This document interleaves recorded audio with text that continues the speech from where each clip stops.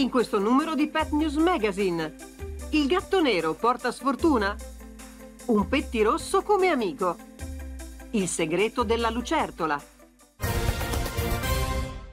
L'erronea credenza popolare che considera i gatti neri come portatori di sfortuna ha origini antiche, ma non è stato così in varie parti del mondo né è così nell'arco della storia. Di razze di gatti dal manto totalmente nero ne esistono ben 22, incroci a parte.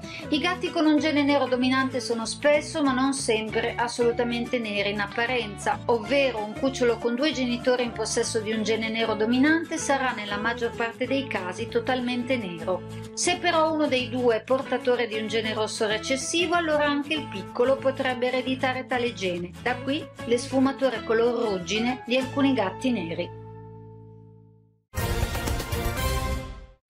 Una palletta di piume alta non più di 15 cm con gli occhi neri come perle ed un maestoso pettorale rosso che spicca sul piumaggio bruno e sul ventre chiaro. Difficile da vedere nel periodo estivo durante il quale vive nei boschi, mentre ai primi freddi autunnali il pettirosso si avvicina a giardini e case in cerca di cibo. Per attirarlo proprio nel nostro giardino basterà mettergli a disposizione il cibo più gradito, farlo ad orari regolari ci permetterà di ricevere la sua visita anche tre volte al giorno.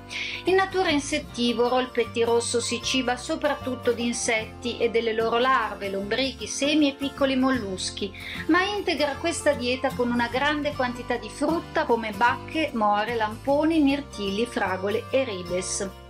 Il suo menù invernale consta di piccole quantità di grasso, semi di miglio e avena, briciole di torte, panettone e biscotti. Il cibo va posto a terra, sul balcone o su un davanzale, in un posto difficilmente raggiungibile dai gatti e andrebbe offerto dall'autunno fino a primavera inoltrata.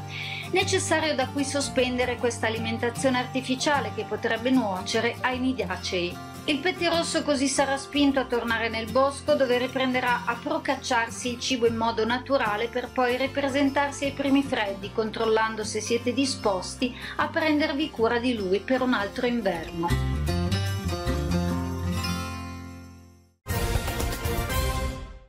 La coda della lucertola, forse non tutti sanno che esiste un punto esatto in cui avviene il distacco, c'è infatti una sezione della coda in cui abbondano le cellule staminali, precursori indifferenziati delle normali cellule funzionali che compongono un individuo.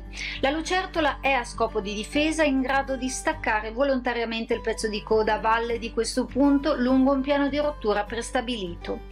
Tale segmento, continuando a muoversi, servirebbe a confondere il predatore di turno, consentendo la fuga della lucertola. Nell'arco di alcuni giorni la coda ricrescerà con una velocità di rigenerazione che è in relazione alla facilità con cui l'autonomia si verifica.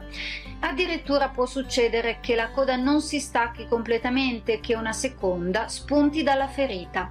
La ricrescita è possibile proprio grazie al fatto che questi animali dispongono di una riserva di cellule molto duttili, capaci di moltiplicarsi e dare origine ai tessuti più svariati ricostruendo le strutture perse.